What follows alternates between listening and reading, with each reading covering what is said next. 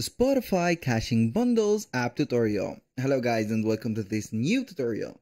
In today's video I'm going to show you how simple and easy it is to uh, install or uh, use the Kaching Bundle app into your uh, specific store that you're going to open on Shopify. So this app is going to be very helpful for creating bundles, having some quality breaks and also setting up, uh, let's say, um, upsells and also uh, getting uh, your way through the clients to sell more products until you're going to have a main goal, which is going to be uh, selling higher or upselling or scaling your online business. So the app is going to be called like this. So you are going to uh, put your app uh, like that or type in only the name of Kaching bundles you're going to find this app. Uh, the first thing that you need to do is to head over shopify.com, sign in for an account, and then you are going to have the search bar type here. You are going to type in Kaching bundle. If you're going to find the app here, it is okay. If not, click on search on Shopify App Store.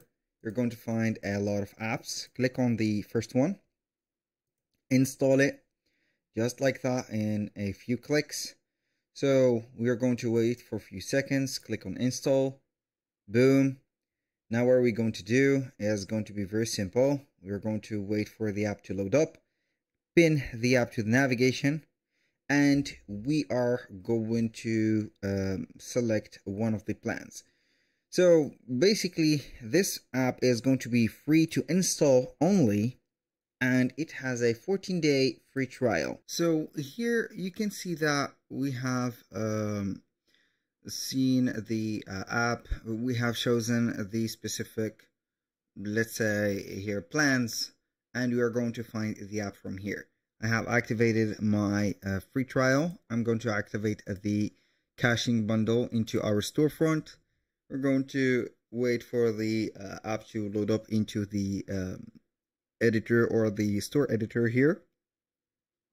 We're going to find this, uh, as you can see, app activated. We're going to click on save only. If you're not going to find the app or you have some issues here, go ahead to the embeds. We're going to find the Kaching bundles, activate it and save it. That was the first, uh, uh, the first step. Second one, we're going to create a bundle deal. So we are going to create a discount, for example. So we can go ahead and put buy one, get one free or save uh, 50%. I don't know here. It is going to be customizable. You're going to find something like that. You can change the colors like some more vivid colors like these and it is going to be very cool.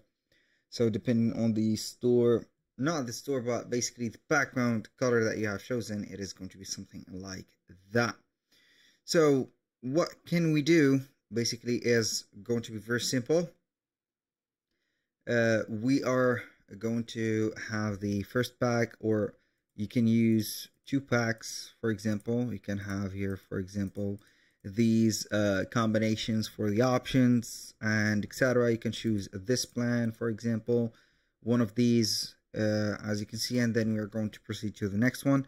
So I'm going to uh, select maybe this one's better so the complete bundle. So can go ahead and have the name of it on it. For example, uh, we can put a, a discount name which is going to be shown in the cart or the checkout.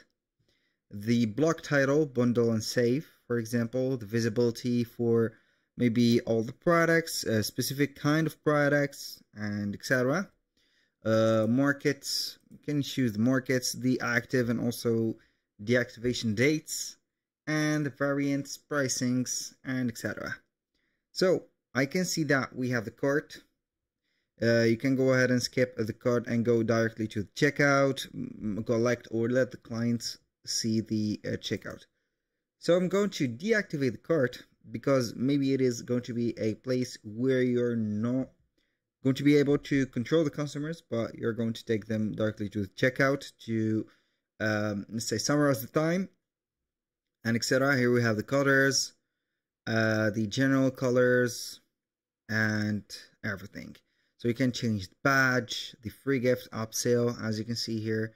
Everything should be changeable uh, and customizable So we can have the typography, the font size, the font style, titles, blocks, everything is going to be mentioned from here. You're going to add a bar, for example, buy X, get Y free, for example, quantity breaks, uh, I don't know here, bundle up sale, for example, like that. You can have the widget set up here. You can run uh, the A slash B uh, test, for example, to run up the products and everything should be in a good place. Now you can go ahead and save in the uh, bundle. You can see here and let's see here do we have the product we need to set up the products unfortunately I do not have a product so I'm going to discard everything can see that we have everything right there and we're going to uh here see everything set into one place we have the translations the analytics the plans and everything so that was pretty much it for today's video. Thank you guys for watching. I hope that you have enjoyed the content. And I hope to see you soon on the next one.